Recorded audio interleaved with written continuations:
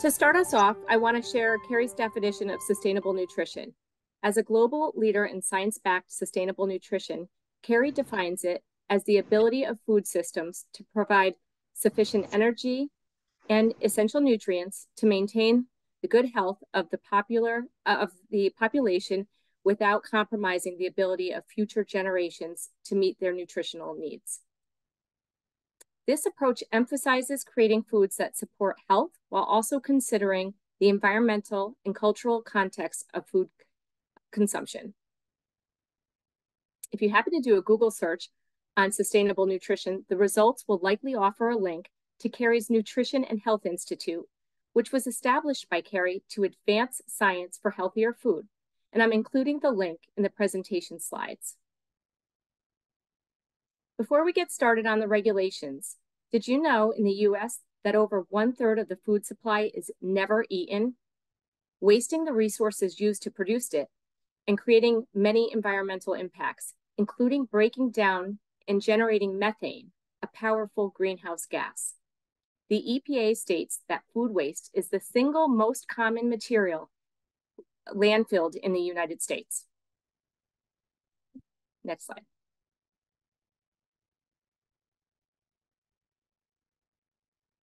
So globally, there's a focus on increasing recycling of food and other organic materials to support a more circular economy, reduce greenhouse gas emissions, and building cleaner, healthier communities. We're going to take, we're going to walk through some of the regulations now, starting with uh, the US. This past June, the US created a federal interagency collaboration to reduce food loss and waste, which includes the USDA, the EPA, the FDA, and the White House. The National Strategy for Reducing Food Loss and Waste and Recycling Organics is part of the Biden administration's whole of government approach to tackle climate change. The strategy will support policies that incentivize and encourage the prevention of food loss and waste, and further supports the United States 2030 food loss and waste reduction goal, which aims to reduce food loss and waste by 50% by the year 2030. With the United Nations Sustainable Development Goals, uh, and, it's, and it's directly aligned with the United Nations Sustainable Development Goals, or SDGs Target 12.3. Next is a review of the European Union's Framework for Sustainable Food Systems, or FSFS, which is a key initiative under, under the European Union's Farm to Fork strategy. This is aimed to be the overarching framework for all sustainable sustainability regulations and will integrate sustainability into all food-related policies. This initiative is part of the broader European Green Deal, which seeks to make Europe the first climate neutral continent by 2050. There are many initiatives in the EU happening separately that will be considered under FSFS, such as the EU's step to combat deforestation through its regulation of deforestation-free products, which aims to ensure products consumed do not contribute to deforestation worldwide. The regulation covers seven commodities, which are cattle, cocoa, coffee, palm oil, rubber, soy, and timber or wood. And as part of this regulation, products must not be produced on land that was deforested after December 31st of 2020, and the regulation will be fully enforced by December 30th of this year. Now on to green, the Green Claims Directive, which aims to harmonize B2B and B2C environmental claims around carbon footprint. The latest draft of the regulation includes validation methods, and they are hoping to finalize this directive by end of this year or early next year and there will be a two-year implementation period. Now I want to highlight a significant piece of legislation aimed at enhancing and modernizing sustainability reporting requirements for companies within the European Union. This is the Corporate Sustainability Reporting Directive, or the CSRD, and it provides clear and consistent reporting guidelines, and it's not only for food companies. With this, companies must disclose detailed information on their ESG impacts, the directive is meant to ensure that investors and stakeholders have access to reliable and comparable sustainability information. The first set of companies subject to this new rule must start reporting next year for the 2024 fiscal year. There are plenty of other initiatives as well, including the Packaging and Plastic Waste Reduction Regulation, or PPWR, which focuses on food waste and reduction and recycling with a minimum target to achieve by 2030. Another is the Food Information to Consumers Labeling Regulation and may change the definition of used by and best before dates to prevent unnecessary food waste. Lastly, for the EU, there's also a food waste framework, and this directive is in the works and in the infancy stage, so more to come on that in the future. Moving on to Mexico. On April 17th of this year, Mexico published a general law of adequate and sustainable food, which aims to achieve a healthy, fair, sustainable, and competitive agri-food system. This includes reducing environmental impacts with a focus on biodiversity and ecosystems to enable access to food for present and future generations, as well as preserving the use of traditional techniques and ancestral knowledge for food production. After publishing a law, the authority prepares the specific rules and guidelines in a document which is currently under construction. Glo so now on to nutrition initiatives. Global initiatives are being taken to accelerate efforts to empower consumers with information to make quick and informed purchase decisions and create healthier food supply. This aligns with the US's national strategy that came out of the White House conference in September of 2022. These global initiatives include front of pack labeling and warnings, sugar sweetened beverage taxes, marketing restrictions, and ingredient bans. Next slide, please. Global organizations and governments are responding with a focus on products high in sodium, high in fat, and high in sugar, and in some cases, calories. On this map, the blue shows mandatory labeling, and green is currently voluntary. As we at as we know at CBA, the FDA has said they expect to provide like draft rulings for front of pack labeling schemes this fall, and Canada's front of pack warning symbol will be effective Jan 1 of 2026.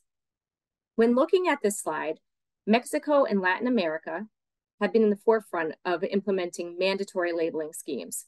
And to, right of, to the right of the screen, you'll see that Europe has a variety of voluntary front of pack schemes, included grading indicators like Nutri-Score and color-coded such as traffic lights. And next slide, please. To emphasize the global perspective and provide a bit more context, I'm including a quick visual of what's going on in Southeast Asia related to sustainable nutrition policies. There are several countries that have sugar sweetened beverage taxes, marketing restrictions prohibiting uh, advertising products high in fat, sugar, or salt to children, and also bans or limits on ingredients such as PHOs or trans fats, and of course, nutrition labeling initiatives to help consumers make informed purchase decisions. If you'd like more information um, on this slide, we can provide it after, after the presentation. So the regulations and nutrition policies that we just reviewed, reviewed will remain a global priority and therefore, it is imperative for companies to strategize product development and reformulation through the lens of sustainable nutrition and the important role of innovation. Industry really has an opportunity in all of these areas by helping to prove nutrition, uh, nutrition profiles. For example, in the US, where we're allowed to use uh, the upcoming flexibility to allow salt substitutes in standardized foods where sodium is either an optional or a required ingredient and also innovating with new ingredients or new technologies. Reducing food waste through solutions for shelf life extension and therefore feeding more people. Innovate, uh, we need to consider packing, packaging solutions as part of the innovation process. And finally, we must communicate all of this to our consumers, both on pack and beyond. And now I'm going to pass it over to Kerry's Chief Technical Officer, Emer Robertson, who's going to walk us through the product innovation with a focus on sustainability. Thanks very much, Cheryl, and uh, great to be with everybody this afternoon. Uh, thank you for having us. And where this is an exciting topic that uh, we could spend a lot of time talking about. So hopefully we will have a lot of good questions in the chat box. Just a reminder to use that if you can. Um, so Cheryl, thank you for that overview. And I think our intent of talking about, uh, let's call it the regulatory dynamic and landscape at the start of the session was to really lay the foundation for you know what what we get to do about it and and um, how we innovate and how we progress together forward within the industry. So if we move on to the next slide, Christina, please, just a little bit of a topic around what is innovation at Kerry. So in the same way that Cheryl talked about how we think about sustainable nutrition, I'm just going to make a couple of comments around what what does innovation mean for us within our organization. So Kerry, uh, we celebrated. Uh, we're in our in our 50th um, in our 50s at this stage as an organization.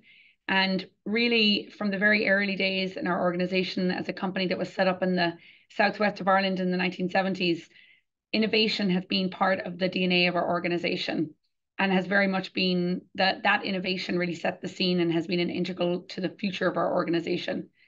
Over the last 10 years, and we shared some of this information at um, a CAGNY conference, an investor conference earlier this year. And we in that conference, we really wanted to share a lot about the investments that we've made in science and technology through innovation.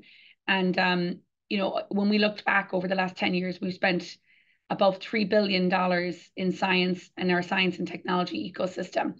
That has come in people. We have a really strong global team. We have over uh, 1,100 scientists globally. They're based in 70 technology and innovation centers as a team, we've submitted over, um, we have over 1,200 patents.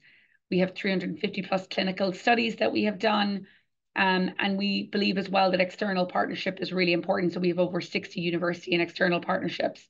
As an organization, we manufacture over 22 different core technologies. So the portfolio is quite broad. Um, and for us, we really try to prioritize. And prioritizing that innovation is around developing and discovering innovative solutions to deliver against the future needs of our marketplace and their future consumer needs. And as we'll talk about over the course of this, uh, webinar together, there are plenty of those um, to work with. So for us, we try to put innovation at the forefront of our decision making and thinking about how we link everything from market research and insights, how we enable that with process and digital technology, and how we run a global innovation program so that we can make sure that we are meeting the needs of consumers across the world. Of course, as you heard from Cheryl's presentation, uh, the impact and the influence of the regulatory landscape is monumental on these innov innovation priorities. And they provide both lots of challenges and opportunities and key decision points for us, uh, both in North America and uh, globally. So thinking about how we look at innovation and, what it means for us, for Kerry, it's about very much blending that science with culinary expertise and imagination. We have very much a for food, from food for food mentality. And so this graphic really demonstrates how we, the different lenses that we use to approach innovation. And for us, innovation is about nourishing food or nourishing people and driving food, tech, driving food um, and life across the globe. So for us, it's about focusing on innovating for today. So we have, if you look in the bottom left-hand corner, we've got a really significant application innovation program in our organization where existing capabilities and technologies that we have today, how can we find novel applications for them um, and new applications or applications that meet a new consumer need leveraging existing technologies. On the bottom right hand side, we try to focus on innovating for tomorrow. So that is where we're running very specific longer term programs of work to create differentiated technologies and new technologies that we can really push across both food, beverage, meat, and the pharma space. And so we have very specific dedicated teams that work on innovation priorities um, that are, I suppose, quite distinct from the everyday uh, business that we have with our customers. And then I mentioned partnerships, and really at the top um, of the graphic here is representing the work that we do around open innovation and collaboration with external partnerships. That really spans everything from academia, universities, startup organizations. We had a really interesting event in Europe several months ago where we had several new startup organizations come and spend some time with us so that we could collaborate around the technologies that, and the problems that they look are looking to solve and how can we partner together with them to either accelerate their impact or for them to help us accelerate our impact and really looking to work with um, both, uh, of course, our customers and our suppliers as well to try and future proof and bring, you know, more more solutions through um, that innovation to our customers. And at the center of it, I mentioned we are very much our heritage at Kerry is a heritage of food and a heritage of natural products. Uh, we do not come from a sort of a chemical or a synthetic background. And so food craft, which is a term that we've spent some time defining, um, but it really is at the heart of innovation for us. And we actually have approximately 80 craft experts globally that are trained in everything from Michelin star restaurants to the world's greatest bars and um, coffee culture. So we have baristas and chefs and food craft experts across the globe. And those gastronomic capabilities really we try to keep in line and match our breadth of ingredients, technologies, and scientific expertise. So we try to blend that science and culinary and then in terms of bringing this to our customers, of course, look, this is a, a, little bit of a busy slide in some respects, and I'm not expecting everybody to, to read it, but what it, it it's trying to show is we are really trying to make sure that our innovation priorities and our technology portfolio represent the market dynamics that are there today. And I think we're all aware we we work in a very dynamic, fast-moving um, space, especially in the food and beverage industries uh, and categories. You know, there's challenges, everything from processing to regulatory pressure, nutritional optimization. And as consumers, we really demand pretty significant sustainability impact. And we expect all of these things to come with zero compromise. So we're not interested in any trade offs. Um, and I think as consumers, we really have significant expectations that we can meet these needs, but we and we can meet our own specific need states, whether that's enhanced nutrition, or specific need states all in a way that can be done that is better for for us as a society and better for us our planet we know and cheryl mentioned food waste but you know it's the single if we continue in terms of the practices that we have in the industry we're going to need the resources of two planets to meet our needs um, and so we know that the fun part for us in our industry and in the roles that we play is this is what we get to work on this is we get to balance the demands of these different customers and industries different markets and different challenges. And of course, that can only happen underpinned by our science and technology portfolio, but the relationship between sustainability and innovation. So, look, what that means for us at Kerry is, is that we really focus on developing a portfolio that the portfolio that we have today. And as I mentioned, looking forward to the portfolio for the future. And broadly, we really try to um, maintain that portfolio around two key areas taste and biotechnology. And so we have people dedicated uh, in terms of both creating new technologies, new product development, and new process technology to meet those needs. I want to share um, the last piece of my um, presentation is just to share a really practical example from our colleagues in the UK. And so uh, this was a recent launch that our, our team in the UK did. It's a product called Smug. It's a, it's a hybrid product. I think, um, Christina, you can, this is the portfolio that existed today. You can maybe move to the next slide, please. But this is a brand that captures the emotional feeling when you get the best of both worlds. So it's a hybrid dairy product. It has um, a win-win in terms of both taste and health, and certainly hits on that no compromise or no trade-off need for consumers. So it combines the goodness of dairy and the goodness of plants, and um, it's a great tasting product and is naturally lower in fat and has a really significant um, sustainability impact. So when we think about the value proposition that Smug can bring to consumers, it was a first to market and category launch in the UK. And the intention was to create a product portfolio that dairy lovers can enjoy um, and really fits and hits the needs for sustainability and the demands of, of health and wellness for consumers. So this is a portfolio that has 40% less saturated fat and from a sustainability standpoint saves up to 54% carbon emissions per kilogram of traditional dairy. And really, this is done in a way that has no compromise from a standpoint of the rich and creamy experience and flavor that we get and that we love. That delicious feeling is what um, is what the brand is positioned as. So, in order to back up the sustainability uh, claims that we have here, we did completed a life cycle analysis with HowGood, which is a partner that we work with across our business And we know that converting um, the ambition here of the product into impact for our consumer choices was really important. So the commitment that Smug makes to its consumers is that you can have the same creamy and delicious dairy experience, but knowing that you're making a choice that can help reduce your carbon footprint. And so therefore it's a choice that you can feel good about your dairy consumption, one delicious, creamy bite or sip at a time. So I think this has been a really practical example of how we've leveraged our technology and our capability and where we're looking to continue to meet consumers' needs and how we facilitate our customers um, meeting those needs. So Christine, I think this is our a good handover point over to you. I know Smug is a particularly a great example of sustainable nutrition in action. Yeah, thanks, Emer. So you're right. Smug the SMUG case study that you shared is a great example of sustainable nutrition. It's really meeting the growing consumer trend for alternative dairy solutions. And it really follows Kerry's sustainable nutrition roadmap that we use to guide and inform and support the journey we are on, which is to enhance the nutritional profile of products, such as cleaner label and positive and balanced nutrition, and meeting personal nutritional needs, while also improving the environmental impact of the products for example, through climate positive solutions like a hybrid solution, um, which is making products that are better for people, better for society, and better for the planet, and really helping our customers progress along the sustainable nutrition spectrum, which is central to Kerry's vision.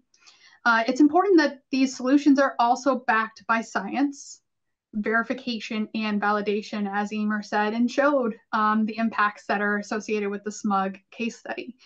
Um, so it's also important that we are providing tangible guidance on the impact of sustainable sustainability across this journey.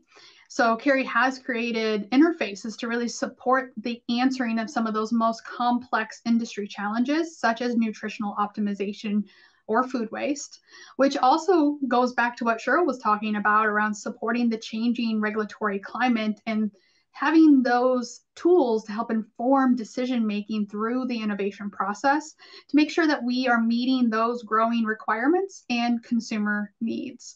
So, as Emer discussed, innovation is really critical to meeting the shifting regulatory climate, those consumer needs, and to shift our food system to support the nutritional needs while impacting, um, minimizing impact. So, just uh, I need to introduce myself. I know my name is Christina O'Keefe. I'm the Director of Sustainability for Kerry North America, and I manage our sustainability program from end to end. Um, I I get the pleasure of working with Emer and Cheryl and many people across the Kerry network to really bring sustainability value through our organization and to support our customers. I think Kerry doesn't really claim to know what the future is, but we really want to be prepared um, prepare ourselves with the knowledge and research of today by nurturing a culture of really forward thinking. Um, we can really begin to see the shape of what tomorrow might look like. Um, we see a world where we can inspire great food and nourish life in a, a world where together with you, we can really make a difference.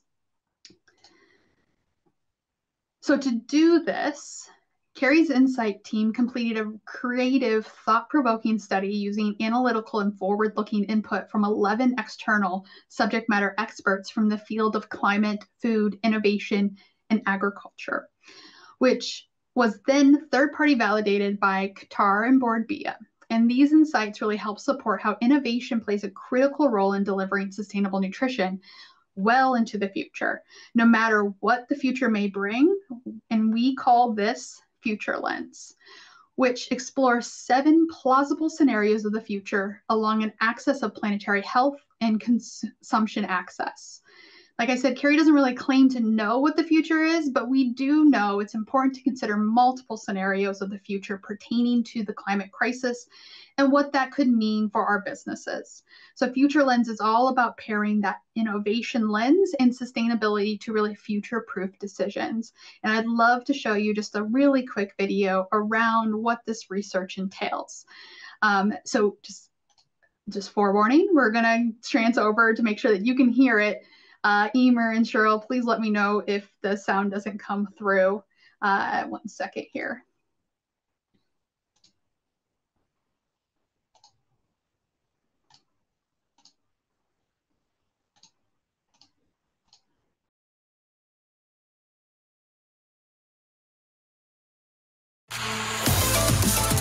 Change is happening faster and more dynamically than ever before.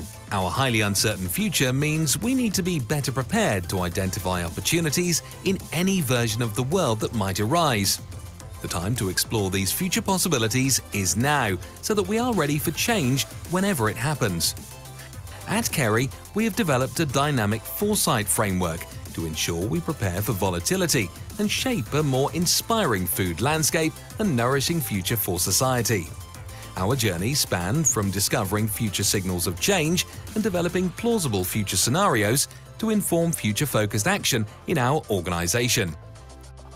Our exploration began with a holistic outside in view of change, examining the shifting system within which our societies organise themselves and alongside how consumers view the world using a variety and breadth of leading edge sources ensured we had an expansive view of the issues and uncertainties impacting the future. A diverse set of acclaimed experts from a range of industries were engaged with to test and stretch our hypothesis. This analysis was synthesized to build a comprehensive dynamic foresight framework formed around two key uncertainties the future of our planetary health and the expansion or retraction of our consumption access a series of plausible yet provocative scenarios were developed, preparing us for a range of alternative future worlds and their potential outcomes for food and beverages.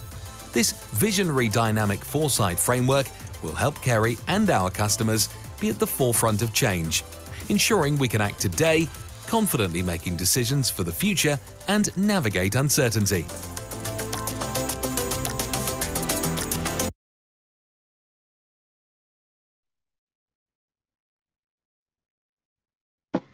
Perfect.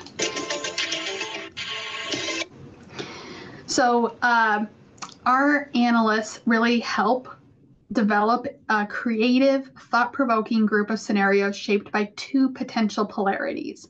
We plotted those planetary we plotted planetary health on the x-axis, ranging from catastrophe to more manageable conditions, and contrasted this with consumer access and freedom of choice on the y-axis, highlighting four very distinct potential future directions for our, the food and beverage industry. If I can point you towards the innovate or die quadrant in the top left corner, these are potential scenarios where planetary health is catastrophic, exemplified by more really extreme weather events and patterns. Yet, consumers' choice remains broad. We could foresee this area where radical technology and really scientific innovation becomes critical for food production and supply. The everyone for themselves quadrant, this includes the potential scenario where collaboration could be absent and consumer access restricted we imagine we could witness maybe a, a survival of the fittest type mentality. Here where wealthy society organizations and individuals really pro, pro, uh, prioritize really self-preservation above all else. In the third potential quadrant at the bottom right called sustainability through doorstep living shows that the planetary systems are stable but response to climate events and other crises remain reactive reactatory reactionary. Oh man that's a tough word today. So we could find ourselves in a situation where disruptions in supply chains and limited access to goods and services really create a localized food system with lower innovation in our food um, and beverages. Finally in the fourth quadrant, in the top right corner, where planetary health could become more manageable and stable and consumer freedom increases, we could see the emergence of a business as usual but better scenario. And in this era, we could imagine that food and ingredient supply chains are resilient and capable of meeting our growing and increasingly complex demands for consumers, which provides a world of indulgent experiences and really focused nutritional wants. Um, future, we explore and create fictional scenarios with these four quadrants detailing seven unique and plausible situations based on data and emerging change. So within those four quadrants, we have kind of imagined different types of scenarios.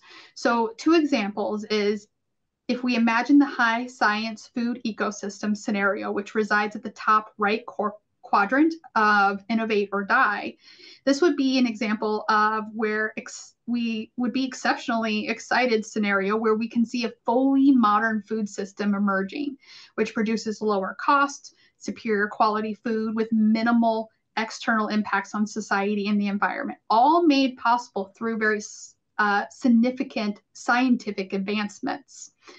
Conversely, uh, if we imagine that if we fail to embrace this change and the fictional everyone for themselves scenario takes hold, we could enter a potential crisis state, um, which is characterized by really high threats, self interest, polarization, uncertainty, and inequality.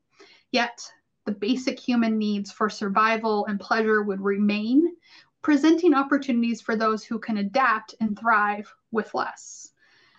Now, imagine if we use these plausible scenarios to look at innovation and sustainability to create solutions that would either prevent some of these scenarios or create plausible scenarios where we would like to live in. What would that look like?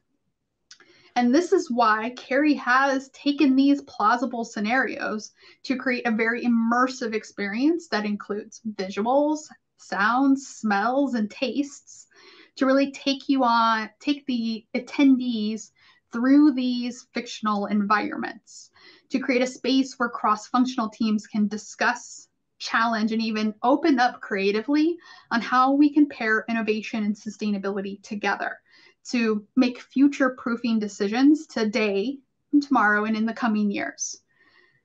I would just like to personally invite everyone that may be interested in exploring these plausible scenarios with your teams um, with Kerry uh, to email me. Uh, my email there is on the screen. Uh, this experience is exclusively available at our North America Global Innovation Center, which is located in Beloit, Wisconsin. The reason why it's there is because it is immersive um, with the sounds and the taste and um, the the visuals. Uh, Beloit, Wisconsin is located just over an hour drive outside of Chicago, so it's an easy place to get to um, if you fly into Chicago or Madison or Milwaukee.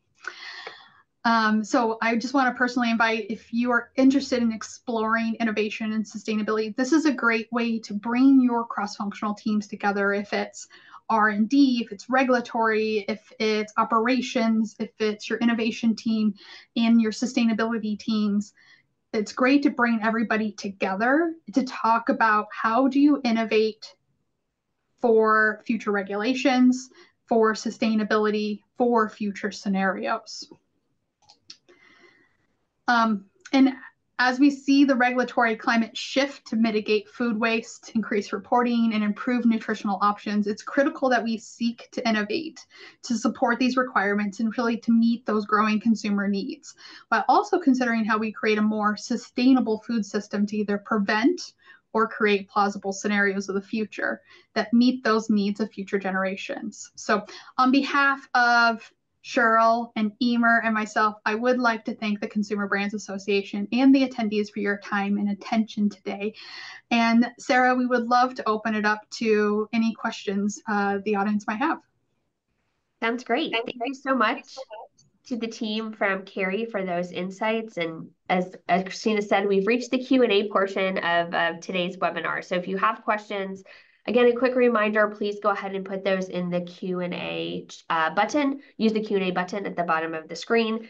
Um, and we'll go ahead and get started. And um, whoever from the Kerry team wants to answer, if you all want to take an, uh, take a swing, that's great too.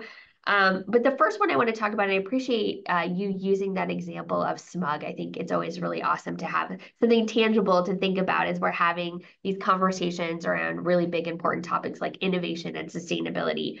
But can you talk a little bit more about what specific innovations or technologies in food production that you think are going to have that most significant impact on industries, you know, carbon footprint over the next decade? Or I'm sure um, each one of us is a little bit of a, a science nerd about all of these things when we talk about innovation and sustainability. What ones excite you the most, and what do you think has the potential to have the biggest impact? Christina, it's probably good to talk about sustainable dairy. What do you think? Yeah, we could start there. So I think we, we gave the example of smug, which I think is a great example of where you can use a hybrid solution to reduce the carbon footprint and improve nutritional um, components of the product. I think that um, reformulation of even traditional products that we see out on the market today are going to be critical in capturing carbon reductions right we have to do things differently than what we've always what we've done in the past right? Which um, doesn't mean we want to limit the taste or the experience. I think those are still heavily um, important uh, right? As consumers are still looking for those things. But how can we create that same taste experience um, with lower carbon solutions. So the hybrid is one solution, but it could be using um, modulation or, or different innovations and technologies to still give you those same taste nodes, feels, um, while reducing sugar, fat, and salt, um, and incorporating carbon reductions.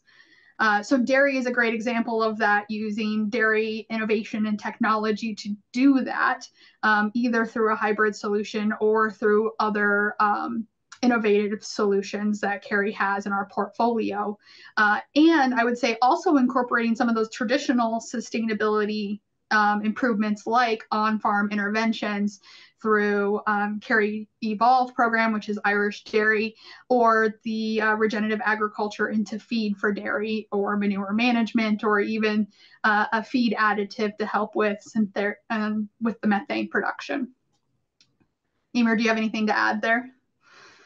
No, I think that's really helpful. I think we just need to think about why dairy stands out to me as a significant example is is how pervasive it is in our industry, whether it's in snacks or meals or in terms of, of consumption factor. The other example that I would think about in terms of sustainability is, and it probably touches on sustainable nutrition in action as well, is the opportunity to really look at uh, continuing to take sugar out of our supply chain. And I mean, in the beverage world, there's lots of examples that we have. We have a lot of enabling technology in the world of beverage that really builds back and brings the consumer experience very much back from a sensory standpoint. Um, but I think that that's another area where, from a carbon footprint standpoint, there's a really significant benefit for customers and consumers as we look. You know, it's kind of a double a double win, right, on the nutrition side as well as um, on the um, on the sustainability side, carbon. Right. Thank you. Okay, so our next question um, talks about the more the business aspect of this. So how can companies in the food and beverage sector effectively balance the need for sustainable practices with the economic realities of, you know, being profitable, especially for those small and medium-sized businesses? You want me to take that so I think, um, you know, I recently heard um, the former head of climate for the US speak, and I I thought it was a really interesting discussion that she said was we should stop actually using the word sustainability because we should just say we should be doing what's best for business.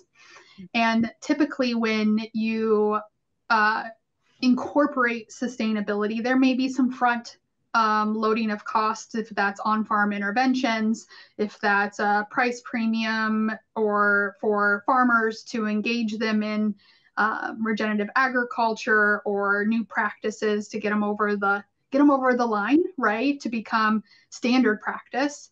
Um, but in the long run, it's pretty. It should be um, cost neutral or even better, right? When we start thinking around operations and how do we make food um, more efficiently, those are cost savings. And I think when we talk, when I talk to customers, I like to think of things as holistically right? So, yes, there might be a cost if you want to invest in regenerative agriculture. There might be a cost if you want to invest in um, research and development, but those probably take cost off on the back end if that is shipping less water because you're concentrating ingredients, if that is um, reducing packaging because you want to move to more sustainable packaging um, uh, portfolio, if it is um, optimizing your operations to reduce waste, if that is actual waste or if that's energy waste or water waste. Um, I like to try to think things as like let's look at things holistically. And yes, there might be some inputs of cost, but there most likely are more outputs um, and reductions in cost in other parts of the supply chain. So I think we we kind of I think most people to be honest get stuck in whatever function or bubble that they're working with and they think about the costs that are just associated with that piece of the supply chain bubble. But if you start working cross functionally and you start talking about the improvements and the sustainability and the innovation, you're going to start seeing where it all comes together and where it probably is a cost reduction. Anyone else from the Kerry team? That was it was great. I just don't want understand. no, I, I mean I, I think everything that you said, Christina, was perfect. I think the other there's a lot of analogies outside of the food and beverage industry where consumers make a lot of choices and a lot of value judgments. And I think Cheryl, you called it out earlier, is that continuing to communicate to consumers and continuing to show them that the benefit of their choices that they can make. So I think there's there's probably a number of categories where you can see, yeah, that there's a a, a point of difference in terms of on on shelf price. But I think that the transparency in terms of information gives consumers the ability to be able to think about, okay, I'm I'm making a, a choice here, but I can understand that the the benefit of that choice. Um, and I guess look, there's been a lot of a lot of economic discussion. We know that there's the realities of life, um, but I think that that consumer transparency and education is a really important part of that equation going forward. Uh, I was just kind of thinking, Emer, of an example of where, you know, it might benefit an upfront cost to um, support reductions in the back end, right? And I, I think of bread, um, a loaf of bread, right?